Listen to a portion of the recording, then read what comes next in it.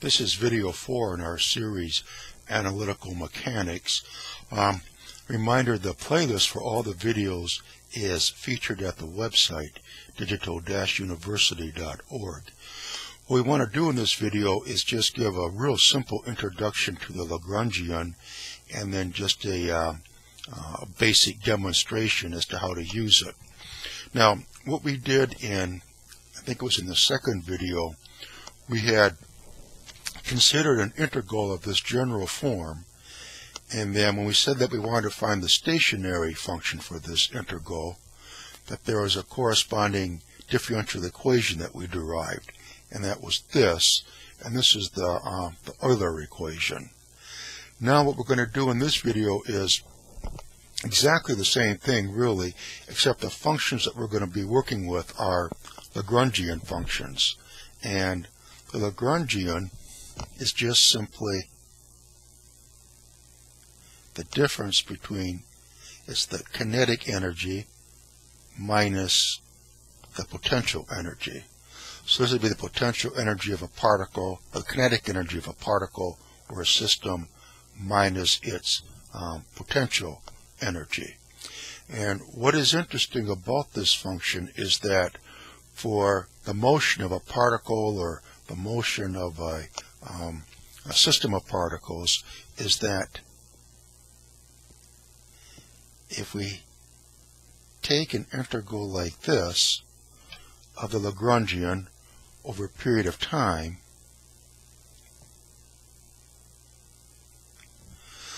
the Lagrangian of the system is a stationary integral. So from this, we're going to get a corresponding Euler or Lagrangian differential equation, and that differential equation is what will um, govern the, uh, the motion of the system or the motion of the particle. And for a lot of systems, using this approach is uh, simpler actually than just applying um, Newtonian mechanics. Um, in these videos now, again, capital T will represent the kinetic energy. Capital V will be the potential energy. The uh, kinds of systems we're working with will have like um, blocks or maybe molecules that are moving, but their, their mass will always be uh, constant. And the forces that are involved will be conservative forces. So that means, of course, that if we have a force, say, and this force has an x component and a y and a z component, then the x component of that force, that would be minus the partial or the potential energy of the system with respect to x. And Fy would be the same thing except it would be the negative partial derivative the potential energy with respect to y. And f of z, of course, would be the same thing. It would be this partial derivative. Of course, this is true for all conservative forces. And these are the types of forces that we're going to consider um, both in this video and all the other subsequent videos unless we designate otherwise. So let's just give a simple demonstration of the Lagrangian. Um, let's say that we're at a certain point on Earth. It has an x um, component a, or it has an x coordinate and a y coordinate, and the z-axis is the is the uh, height above the planet. And if we have a projectile then going across the surface of the planet like that, then its kinetic energy, T, that would be 1 half m v squared. Now we can have components to this velocity of vx, a vy, and a vz um, components to it. So this could equal 1 half m and v of x, that would be x dot squared v of y would be y dot squared. v of z would be z dot squared. Of course, x dot is dx dt, this is dy dt, this is dz dt. And the potential energy, V, that's just mg times the height above the Earth. Many times you see h is used for that, but we're using z. So it's mgz. So the Lagrangian is kinetic energy minus the potential energy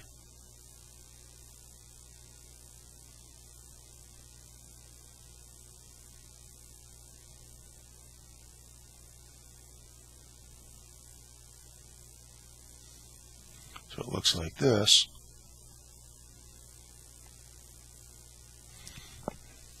And then what we're saying is that if we take the integral of the Lagrangian, say from T1 to T2, putting the Lagrangian inside of here automatically makes that a stationary integral. So we'd have it like this. And actually, we're not going to write Lagrangian in here. This is what L is, of course. But let's write it like this. A Lagrangian like this. And what variables do we have for the Lagrangian? Well, there's z. There's x dot, so it's a function of x dot, and y dot, and z dot.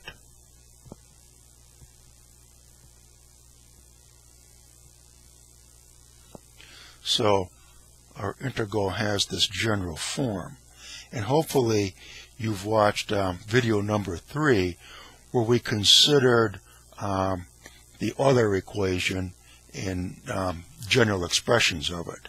And we're going to apply that knowledge um, right now in this video because we're looking at this and we're saying, well, if the integral is of this general form, what Euler equations, or since these are the Lagrangian functions now, what Lagrangian equations would come out of it? Well, t, which is time of course, is the independent variable here. So first we're going to have d dt of the partial of L, and we see it has z, the variable z, the dependent variable z, and z prime. So remember how we did it before. It would be the partial of L, d dt, the partial of L with respect to z dot, of course that's just dz dt, minus the partial of L with respect to z equals 0. So that's one equation that would, be, would fall out from this. Then we have these other variables here. So let's consider those. Again, it's always going to be d dt because time, t, is the independent variable. We have x dots, we have the partial of L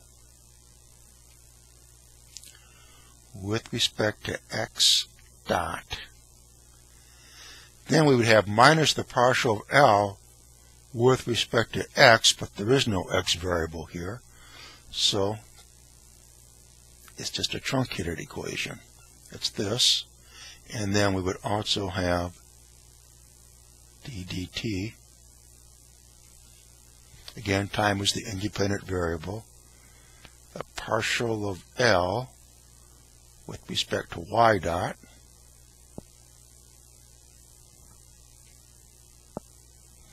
and there is no y variable over here so this equals zero so from the general form of uh, the Lagrangian function we get one two three Euler Lagrange equations now here Good, it's still in focus. This is L.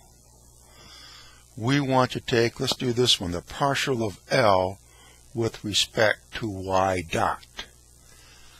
So we go up to here. The partial of L with respect to y dot, the 2 comes down, cancels that, so we'll have m y dot. Partial of L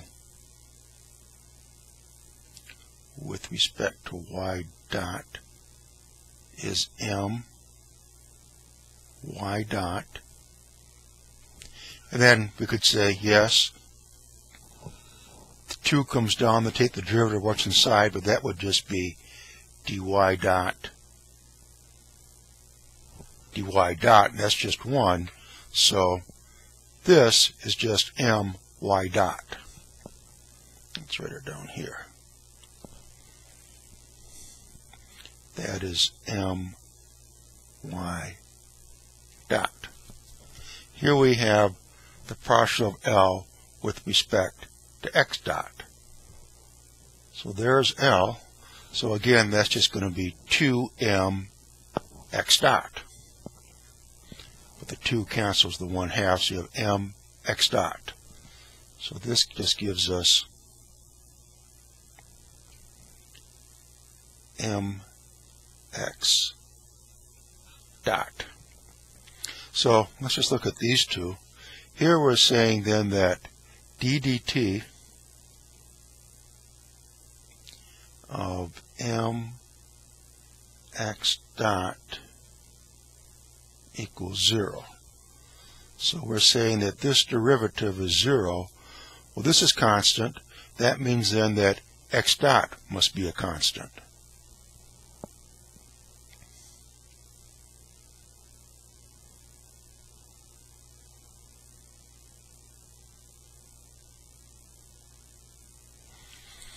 And this is going to give us the same thing because now we're going to have d dt. Let's just write this in here. my dot. You have m y dot equals 0. So again, this is going to imply that y dot is a constant. So s dot is a constant and y dot is a constant. So we're saying that for the projectile, we're saying that Vx and Vy, those components of the velocity, are constant. And of course, that's exactly what we would get if we had considered the motion of the particle um, uh, from the Newtonian point of view. However, we still have these equations. So, so far we have that Vx and Vy are constants. Now, let's look at this.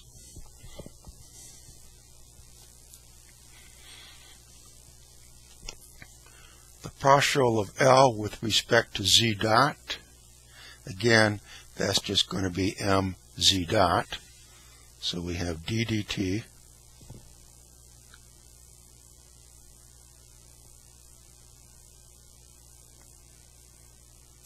mz dot minus. Now we have to take the partial of L with respect to z. So here's L, and we want the partial of L with respect to z. Now this is L. The partial of that with respect to z is just going to be minus mg.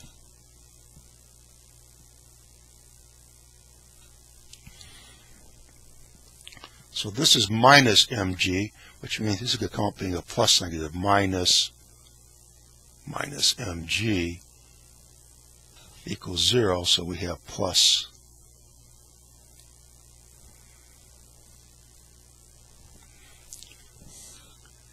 d dt. The mass here is constant, so we have m z dot dot, that's the acceleration in the z direction, plus mg equals 0, or we have the acceleration in the z direction equals minus g, which of course is what we would have obtained if we had started off with f equals ma and just followed through using um, Newtonian mechanics.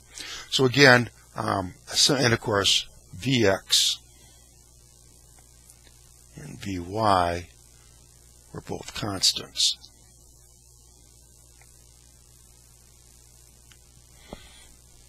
So that's it for the for this video. Again, we just want to give a, a simple demonstration of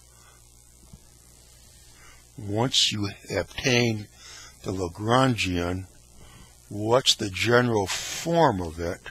So from here then we can deduce the uh, uh, Lagrangian Euler equations that would result from this. Then we solve those and that determines the, uh, the motion of the system.